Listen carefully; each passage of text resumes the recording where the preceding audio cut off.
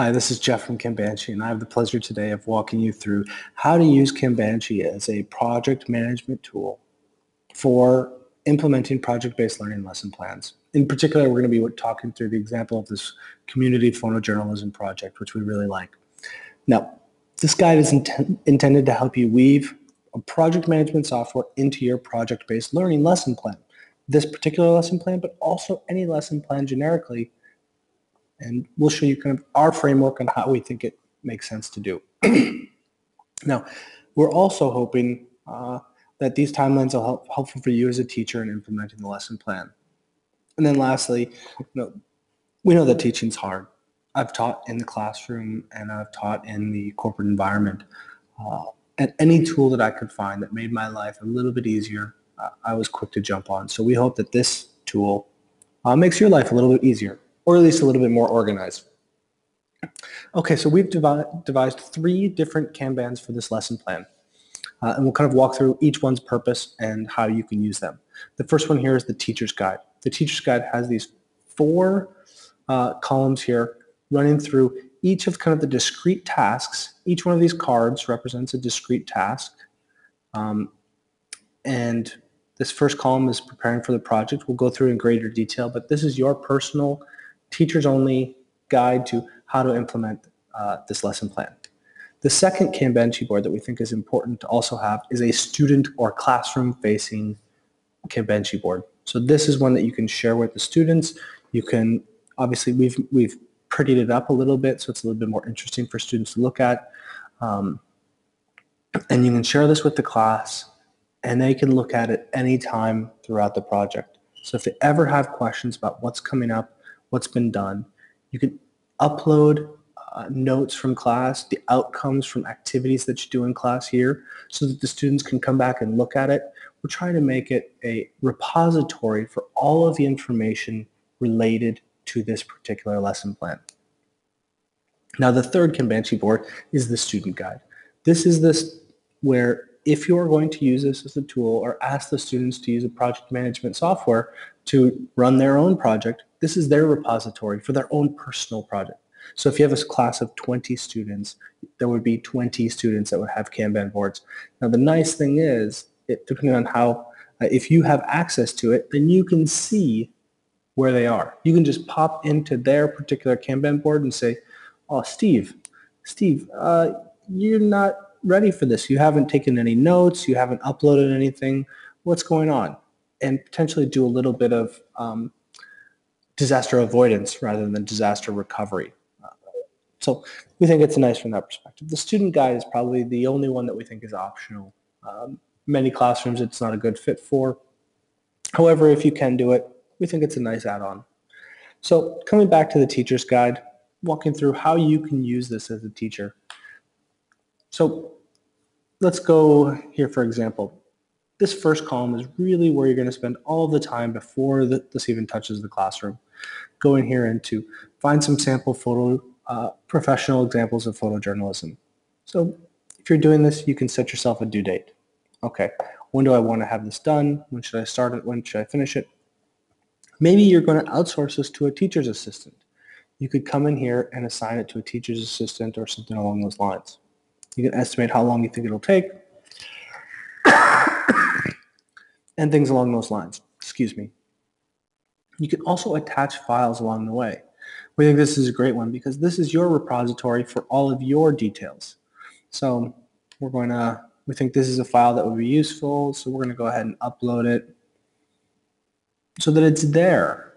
And if, if you're doing this prep work weeks before you start it, you don't have to come back looking for it. You're like, oh, there it is. You can pin it so that you can see that you've got the attachment here. which is a nice feature, but you don't have to. You can also come in here and say, ah, you can add comments. Your teacher's assistant can add comments. If the teacher's assistant is working on this, then you could add comments to theirs. You can come up with examples, humans of New York.com. I think that's a great one. There's a example of photojournalism for you, and then you have the link right in there, and uh, you don't have to uh, try to remember where you're storing it. Once again, it's your repository for this lesson plan, And if you do the lesson plan more than once, if you do it every quarter with a different class or every semester or every year, you can build upon this information. You don't have to recreate the wheel every year, which we think is pretty important. Now, you also have the opportunity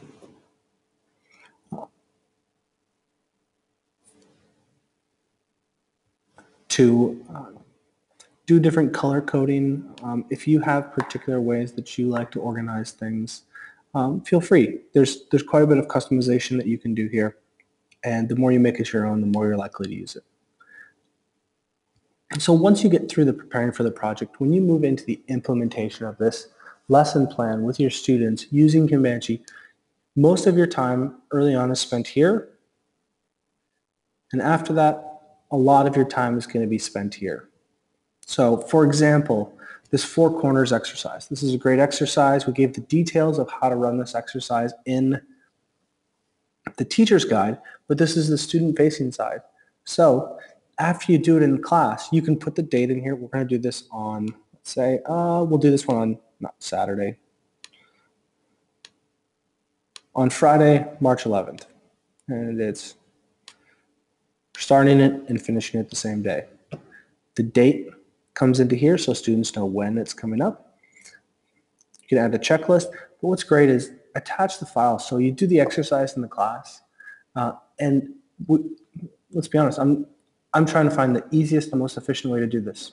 So if you have notes from the exercise, or if you have notes on the board, take a picture of it with your phone and upload it here. That way your students are going to be able to come back to this. You're going to be able to come back to this and once again, your repository, your central repository for all information that they need, as well as forward-looking into information that they'll need in the future. let's say you have a, let's say you have a storytelling expert coming in. You could upload and save their bio here. You could write a description. Alex Blumberg is the founder of Gimlet Media and formerly uh, of This American Life. you can learn more at www.gimletmedia.com or whatever. You can, uh, however you like to do it, you can update that information so that your students have data points where they can go and do it themselves. Now, I also love this idea of flagging different projects as homework assignments.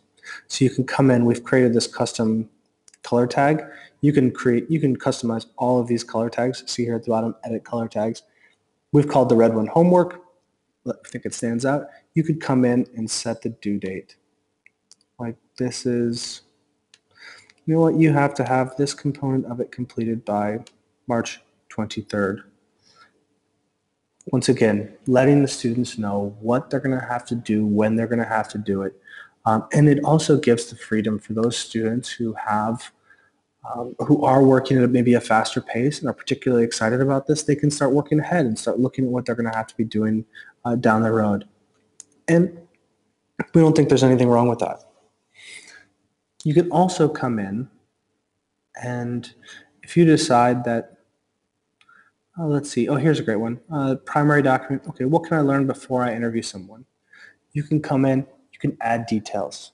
Find one primary source. Find two secondary sources. Write a summary on each source. That way, the students know specifically, very detailed, exactly what you expect them to do as this homework assignment. So we think that's a nice, hopefully this is a nice overview and a nice beginning of what to expect from uh, Kanbanchi and how you can use it as a project management tool. Um, again, all of this, this is, this is up to you. There's quite a bit of customization that you can do around aesthetics, but we think that this template these three templates, these the teacher's guide, the classroom guide, and the student guide is a great place to get started. So hopefully this has been helpful for you. Thanks again for tuning in.